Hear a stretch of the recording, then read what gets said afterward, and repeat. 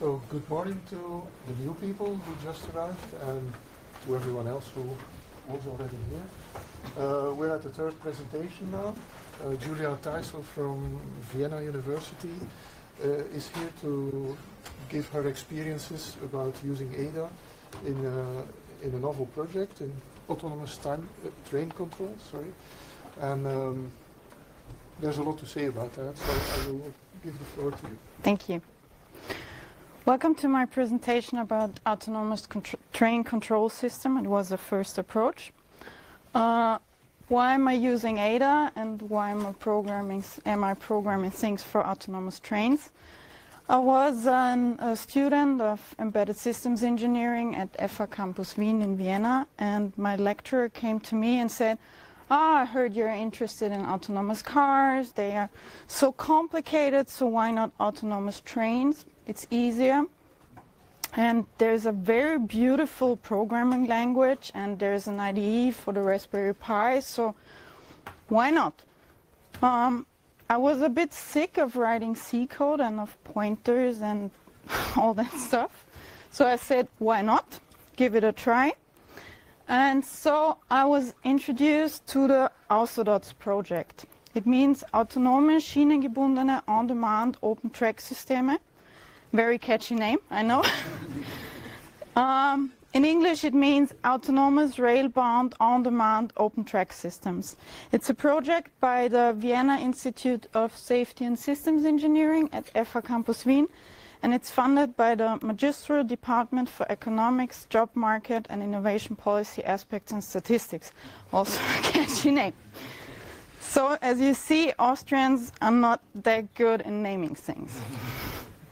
the MA23, so the Magisterial Department, is uh, funding a lot of college, university and research projects in Vienna. So what are the project objectives? they want to create a safety concept for development and application of AutoDOTS. They want to check if the existing standards, for example, the CENELEC standard, can be applied for AutoDOTS. And they want to perform an analyze and risk assessment. So, autonomous and rail-bound. There are special requirements for different things. For the vehicles, vehicles, it means um, they have to approach, uh, they have to monitor the approaching area because if there is something on the track, it's not good that the train is continuing his drive.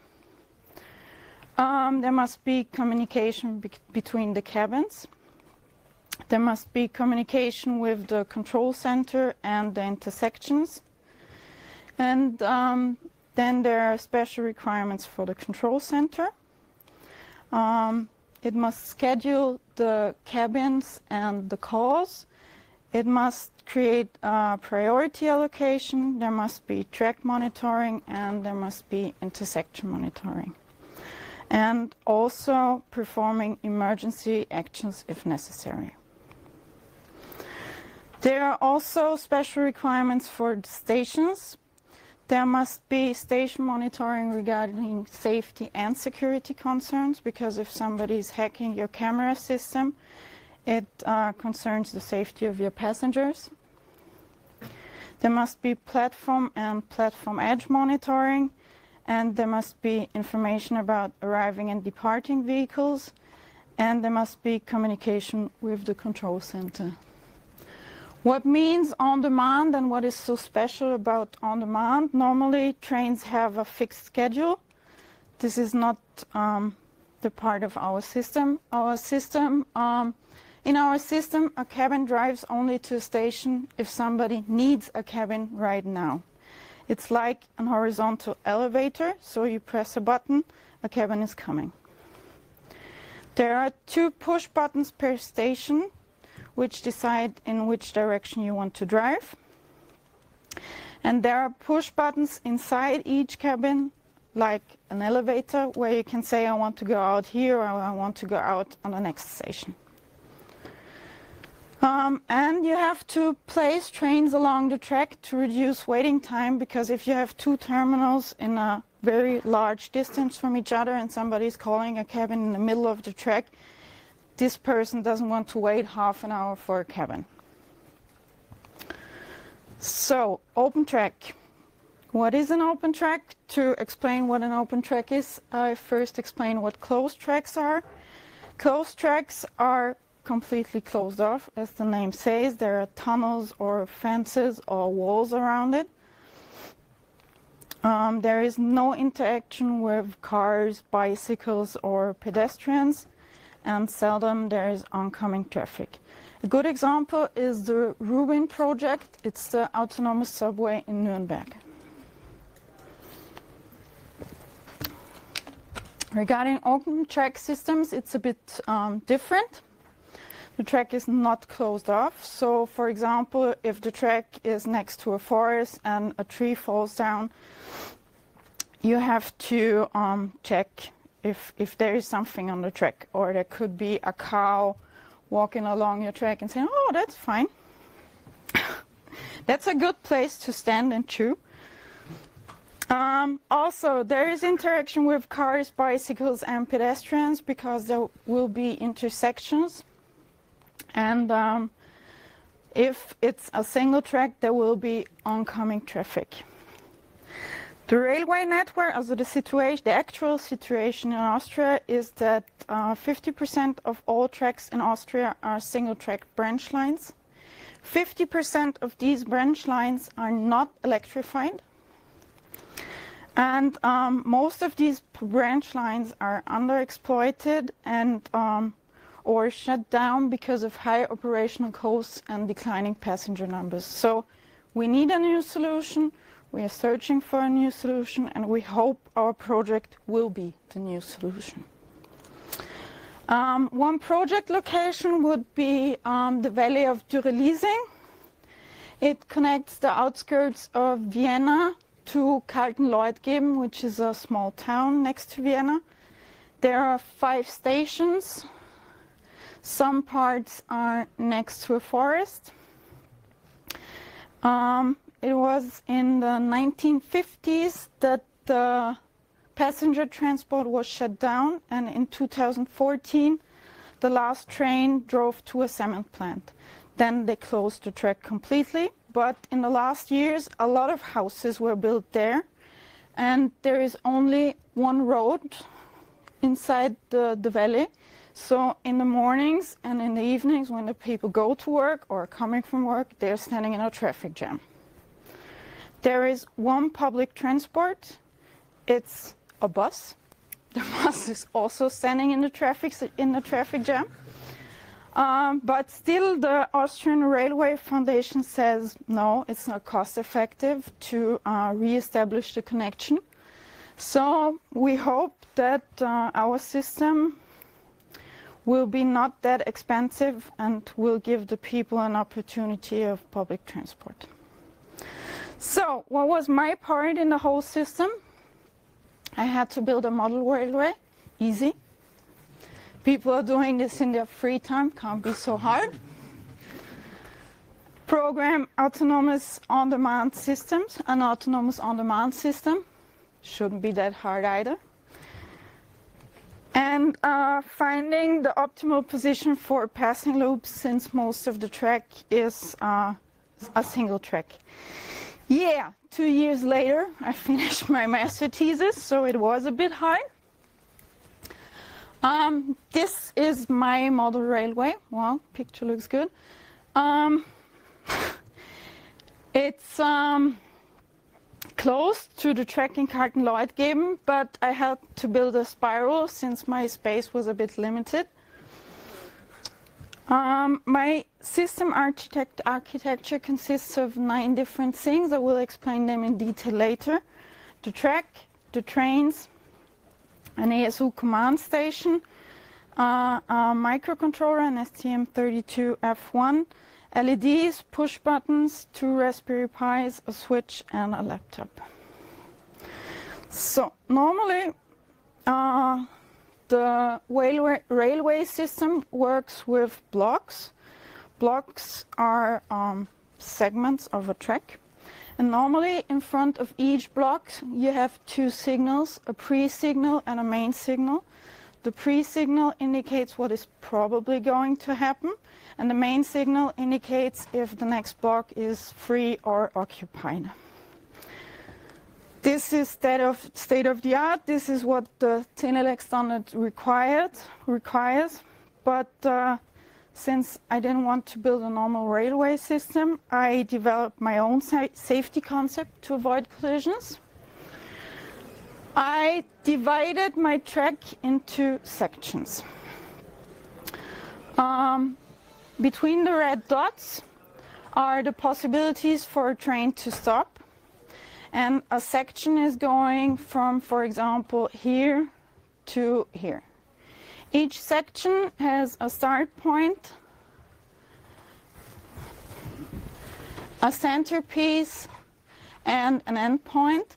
And if, for example, a train wants to um, reserve a section, it has to look if all the other sections with the same centerpiece are also free. Because, for example, if a train wants to drive from here to here, another train could be driving from here to here, and they are using the same centerpiece. And since it's single track, it would be um, an, and a collision would occur. So these are my rail cars. They are looking very old-fashioned, but these were the only cars with a passenger compartment and a toilet. Uh, inside the train, you can see a lot of cables. They are connected to an MX632 um, decoder, which um, converts the signals which are transported along the tracks into a protocol that the train understands. Then you have the ESU command station, which is normally the heart of a model railway because you can perform all the actions you want. You can switch turnouts, you can uh, set the train speed, and so on. I used it as an expensive converter because it converts the DCC Railcom format uh, protocol to IP packages, which were easier to handle. So it's a 600 euro converter. um, and I'm using it to test things because I was new to model railways, so I used it to test if my track is working, if my turnouts are switching, and so on. Then I'm having an STM32F1 microcontroller and LEDs. The software is written in C. At the moment, I tried to program the software with my students in Ada, but we had some problems with Ada on microcontrollers. Um, the microcontroller receives commands via, UART, acknowledges each command, and then uses a PWM signal to control the LEDs. We designed and 3D printed the cases ourselves and include some RGB LEDs inside and I divided, um, I positioned several LEDs along the track and I, and I divided them into four different lines. The two terminal stations, the stations at the passing loops, the stations on the single track, and we have an, intersection with um, the track. So the push buttons. Each station has two push buttons to determine in which direction you want to go. Um, if the LED is turned on inside the push button, it indicates that a train call is in process and it, the LED is turned off when the train arrives at the station. We have a control Raspberry Pi, which is the system's brain. It knows everything, it's, it decides everything, and the software is written in Ada, why I'm here today. Um, I will talk about it in detail later. Then we have the message Raspberry Pi. The software is written in C Sharp, also by a colleague of mine. It handles all the messages inside the system between the control Raspberry Pi, the ESU command station, the STM32 and the push buttons. Then we have a switch because I had a lot of Ethernet connections and a laptop to debug the message Raspberry Pi and start the server application because there was no screen attached to both Raspberry Pis. So this is the whole system architecture. You can see the track and the trains here.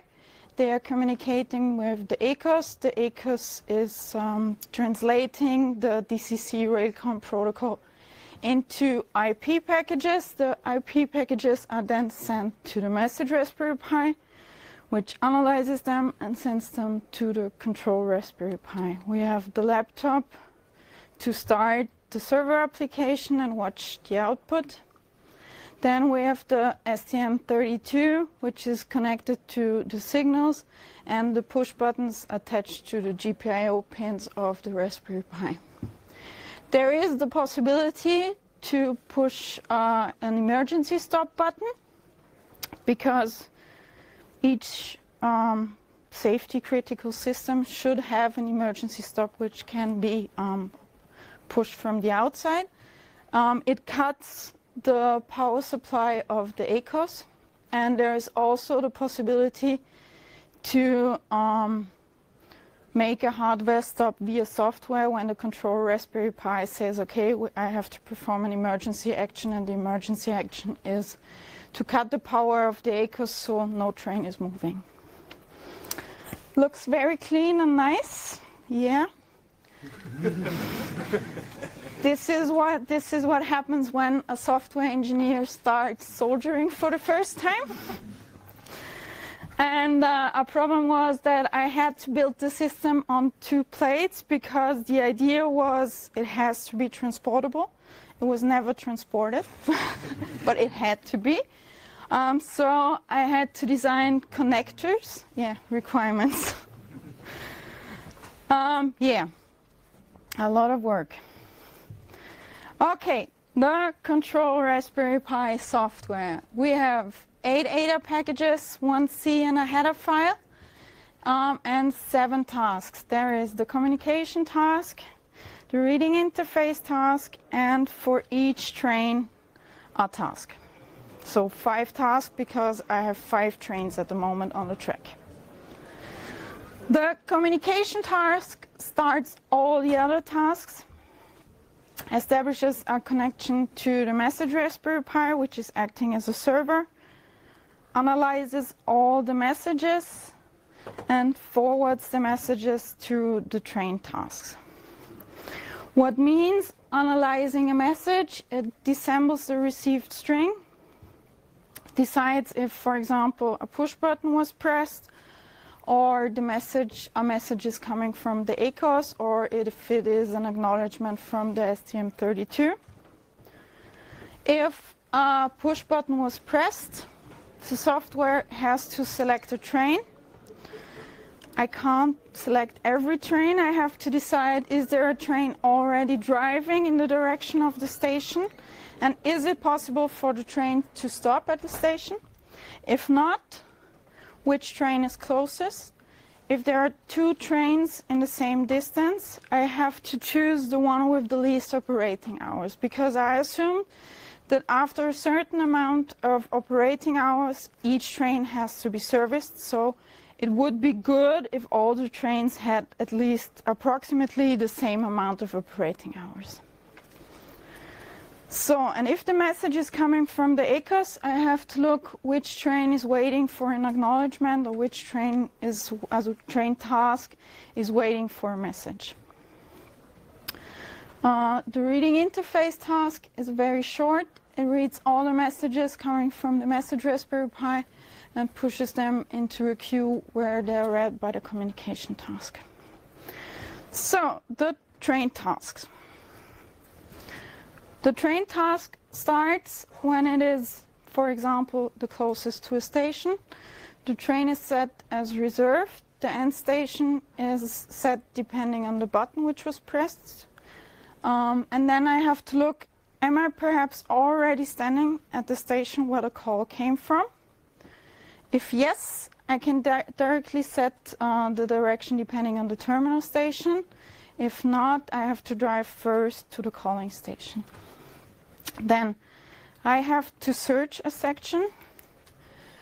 I have to try to reserve it. If it works, fine. If not, the whole pro process is started again.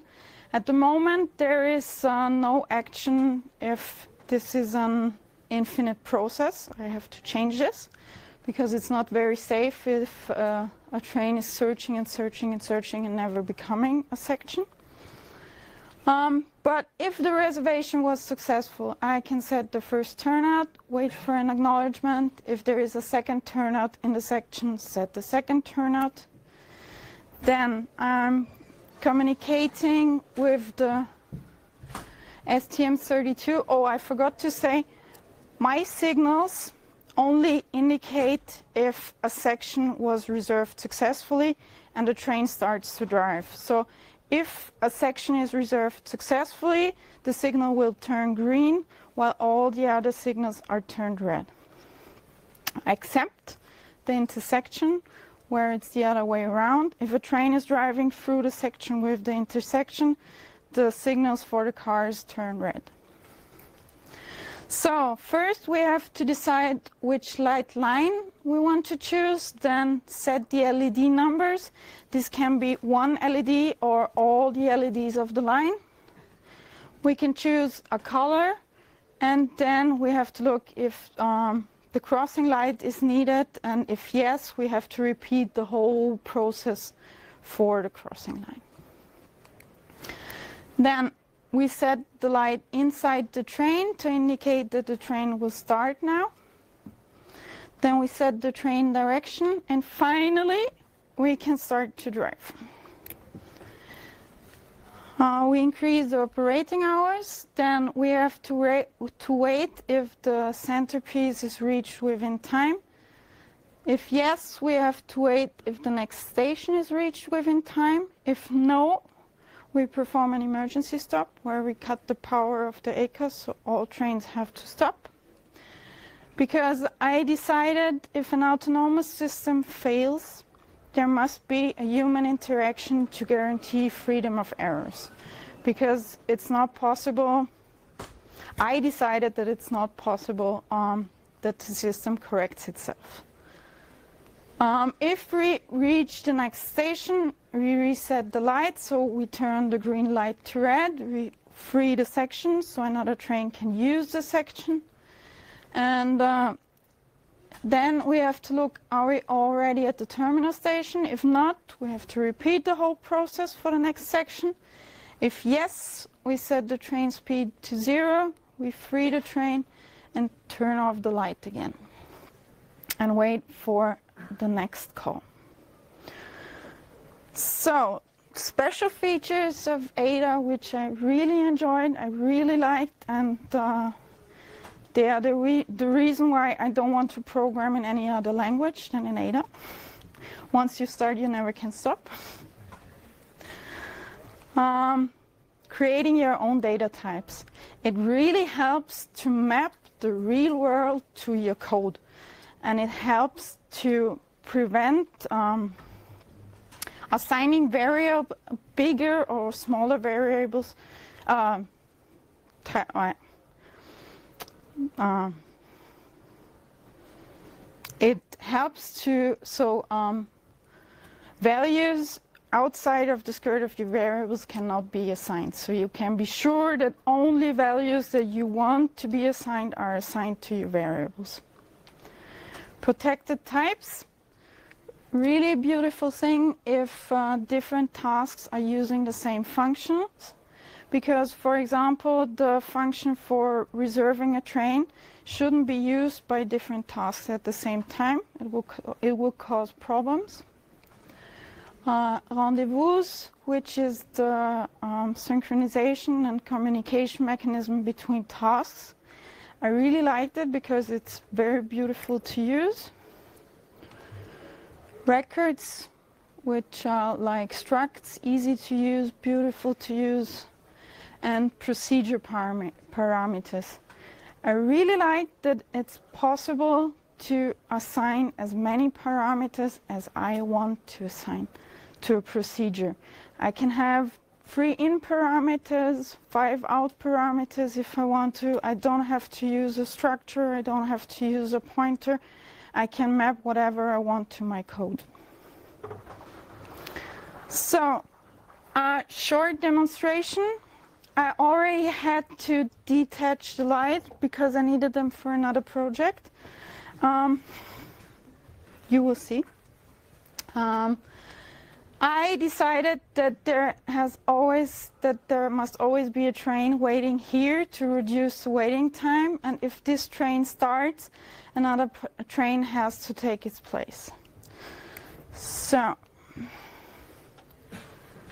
hopefully it starts. Yes. So I'm calling a train to a station. The train starts. It starts to drive. You will see here another train starting. The first train arrives at the station. It waits a short amount of time and then drives to this terminal station. Now, something really, really bad happens because the train with the passengers inside has to wait until this train passes the single track.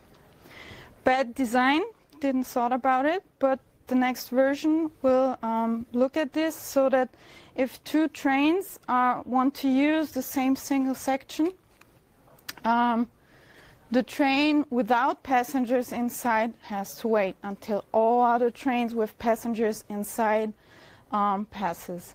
And if there are two trains with passengers inside, I have to look at the amount that uh, the trains have already taken during their drive and the amount they probably will take, and the one with the smaller amount um, has to wait.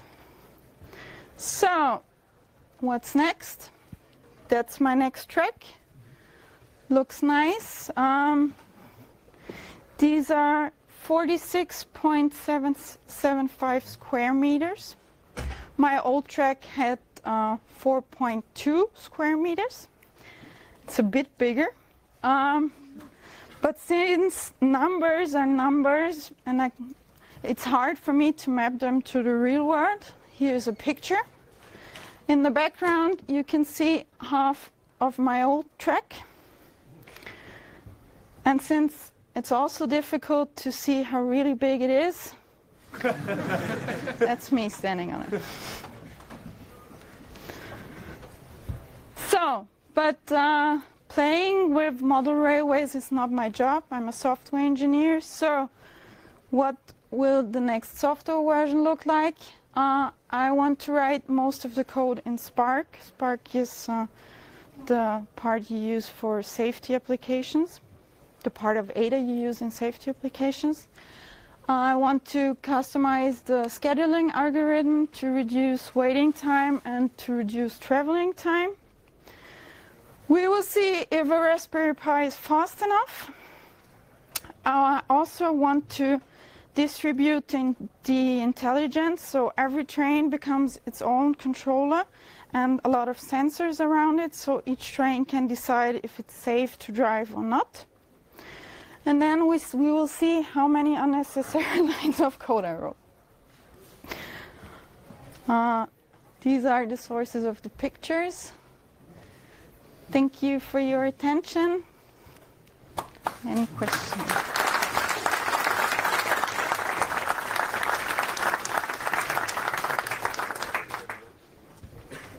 I have uh, one question. Yes, How long is the track that you're trying to do? I never measured it. I don't know. But it maps, um, there's a track in Austria from Oberwart to uh, Pinkafeld, which says nothing if you don't live in Austria. Um, about, in the real world, 30 kilo- kilometers. And it's uh, 1 to 87 if you map it to, to a model railway. Um, one of the problems you might face could be deadlock prevention. Do you uh, do you plan for that already? Uh, yes. Because if yes. all your three posts at the end are full, and uh, for some reason the fourth uh, Yes. car arrives, you have a deadlock. Um, we have different solutions. We're not sure which one will be the best, but uh, there is a possibility to, to move trains. Not my on the next track. I will not use sections this big. The sections are really, really small. They are, for example, on, on this track, you have five sections where you can stop. And um, trains are allowed to move one step behind so the next train can Okay. approach. Okay, thank you. Other question? Uh, did you test how many cabins you need per passenger or how many passengers can fit into that system? Um, kind of breaks because there are too many. we didn't test it, but uh, the cabins will hold 15 to 20 passengers. Can you estimate how many No. We have to test it. We started two years ago, and uh, now there's one cabin, and we, we we have to start testing. And you have to see if uh, the passengers are willing to tra- to take the train, because it's always difficult with autonomous systems that uh, the passengers are willing to use them. And in Austria, it's especially difficult because what is new is mm, we don't want to use it. and if it's autonomous, it's even more mm, so, so it's difficult. Another question there? Yeah, if you have uh, multiple cabins going to the same direction, would you go for an option to maybe combine them into a train just goes there? Because otherwise, the uh, cabins behind the first one would always have to wait for the next block to become free. No. Please repeat the question for the. Um, the question, if I understood it right, was to combine cabins to a train if there are um, many calls. No, we don't want to do that. Um, we will look if, for example, in the morning there are a lot of calls. We um, want to switch to a fixed schedule instead of a demand option. And a demand, if you push a button and call a train, it doesn't mean that the train is coming immediately. It means there are between 10 and 5 minutes waiting time. So you can look if there are other people or other passengers calling a train. Other question in the front? You mentioned you had problems uh, using Ada on the STM. Yes. What were the the problems? Um, I didn't get the, the runtime running. Runtime. Yes, yes. But it's a problem I hopefully will fix today.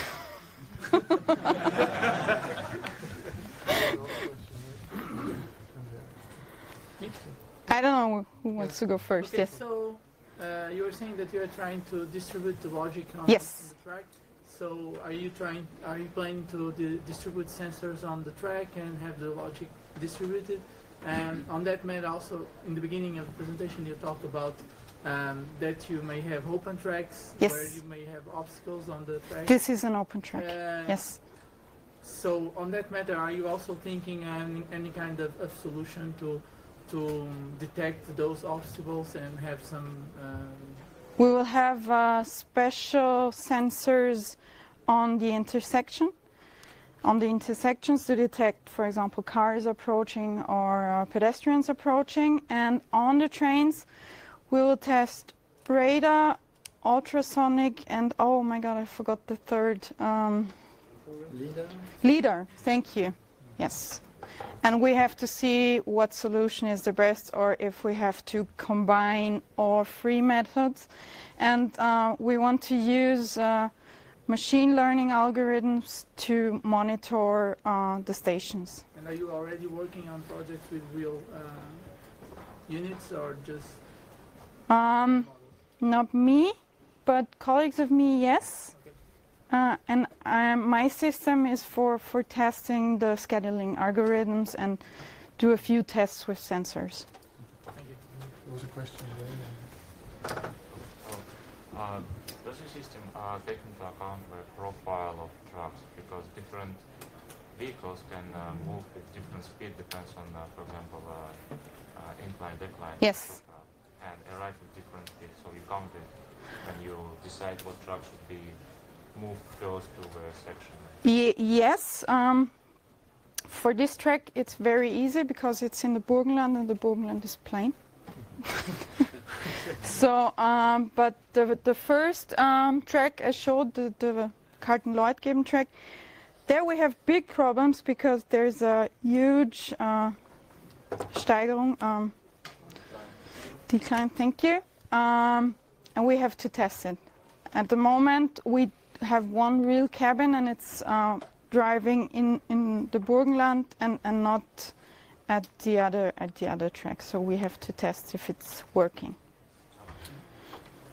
There's a question in the back. When, when you were testing your software, Yes. how many collisions have you seen? None. Good.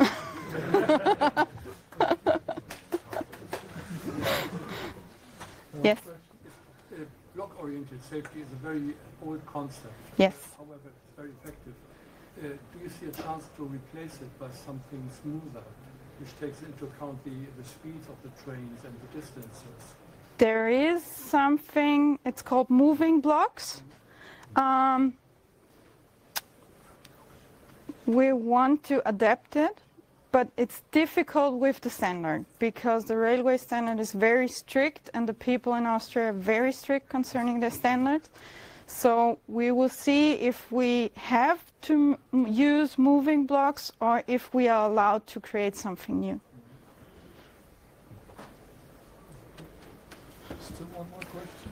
Now, Sally, right now you're, you're, you're creating a heuristics of, of this small track, right? And you have one s- set strategy. Um, what do you think, how, well is that on a scale to a real large train system that connects from many places? Is, it, is that going to be very to come up with the right heuristics? I never thought about it. it was uh, a first approach. We tested it with one track. We will see if my software is working with a bigger track. But it's not planned to replace the whole railway network in Austria. It's, we just want to replace the, the branch lines with, which are not very, used very frequently. So it's not planned for, for the whole railway system. So many questions. Uh, when- I press a button to ask for a train, Yes. or when I'm in a train and Yes. I press a button for a destination, yes. Can the scheduler algorithm predict and show me the time uh, of arrival? Not right now, but it will. But it depends always if um, you are, I don't know, at the third station and you are driving in this direction and they're in between two stations. It can't predict if passengers want to um, Yep. step in at the two stations. But there will be uh, meantime. Yes, yes, something like this. One question. You said you had a colleague that uh, programmed their part in C or in C Sharp. Yes. So did you have exchanges on the merits of your respective approaches and underlying technologies? Excuse me. Did you, did you exchange on the merits of each technology and what it brings? No. No, um, because uh, they had the fixed idea not to use Ada. and I couldn't convince them, so yeah, Maybe you can show them this talk. perhaps. Um, one? Okay. Um, you mentioned in your next version you will be using Spark. And the question is, what level of Spark are you planning to? Just freedom of exceptions, so basically runtime, no runtime errors, or will you go the whole way to actually prove functional correctness? I want to prove functional correctness because it's required for a safety yeah, application. that's what I Yeah. so- Yeah. What's the question? You only your system only has one brain. Yes. One CPU there. That so if that fails, then done for. So presumably you're going to plan to have multiple processors and Yes. somehow have redundancy of tasks. Yes. So that when one fails, Um, mm, not redundancy of tasks, but there will be an uh, uh, supervisor looking if everything goes right, and if it detects a failure, then there will also be an, an emergency stop. So we'll, we'll have redundancy. Well, an emergency stop seems a bit dramatic when Yeah, but that's that's uh, in normal railways. That's the way it goes. now, in normal railways you have multiple systems so that if one computer fails, Yes. it continues. So, Yeah, but that's only a model. In in the real world, there will be multiple computers. But I don't design the real system, so I'm, I'm not sure, and it's not designed yet. So we are testing different solutions and we will see what will be the, the best solution. So I can't tell how many computers there will be. But of course, there must be redundancy. More here. Uh, not really a question, but since you mentioned the, the, this idea of the horizontal elevator, the university in Prague has something that surprised me. It was an elevator, but instead of asking for direction and then going into the ele- ele- elevator and asking for your story, Mhm. they have the buttons to choose the story outside already. Okay. So basically the system knows beforehand where you want to go. Okay. So maybe that helps you also, so you know where the passengers actually want to go. But what if the passenger inside the cabin gets a call and wants to go out at another station? Of course, it's just, I mean, I think Yeah. most of the time you will go where you want to go. Yeah. Thank you. I can only re- reinforce what he said. This is really the future of elevators. Okay.